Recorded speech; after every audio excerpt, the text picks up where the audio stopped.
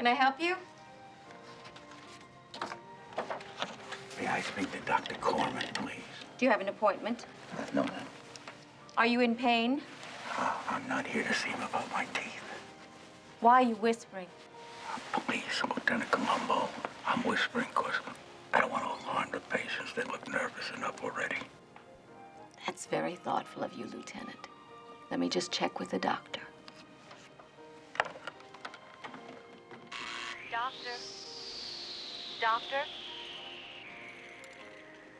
Yes, Francis. Dr. Corman, there's a lieu... There's a Lieutenant Columbo here to see you. I send him right into my office. You can wait right in here, Lieutenant. Oh, thank you very much, ma'am. Oh, look at all these movie stars. Yeah, Yes. look at this. Dr. Corman has many celebrities among his clientele. Oh, Adam Evans. Yeah, What, what a, a shame. huh? I just saw one of his pictures. Yeah? Yeah, it was in a tank. It was in the desert. He come out of the tank. He had a big Japanese sword. Did you see that one? No, I missed that. Oh, it was good. Poor man. He was so young. He always lit up the place when he came in for an appointment. As a matter of fact, he was due in for some work the very afternoon of the night he died. Oh, so you just saw him a few days ago. No, he didn't come in. You mean he never showed up? Oh, no, Lieutenant. Mr. Evans was far too considerate ever to be a no-show. No, he called the doctor himself to cancel. Uh, thank you, Francis. I'll take it from here. Sorry, I don't have much time, Lieutenant. I have a patient is waiting. I understand, sir. Just a couple of questions. Take a minute. Uh, the lab examined the tequila bottle, the blender, and the glass, And? and uh, they found poison, sir. Well, that's absurd. The bottle was clean, but the residue in the blender and the glass was loaded with digitalis.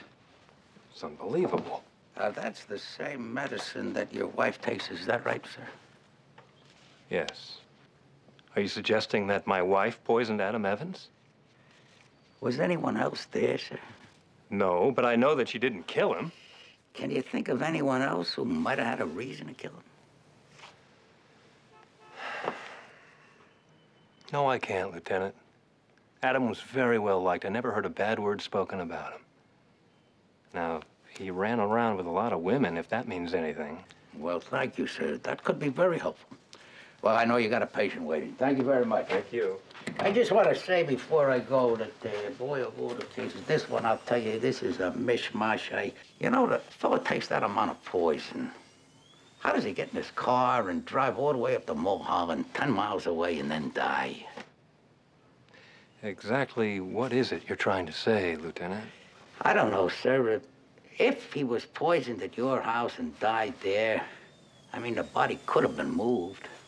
Do you seriously think that my wife killed Adam Evans, drove him up to Mulholland Drive, and pushed his car over the cliff? Oh, no, sir. And you want to know why? Yes.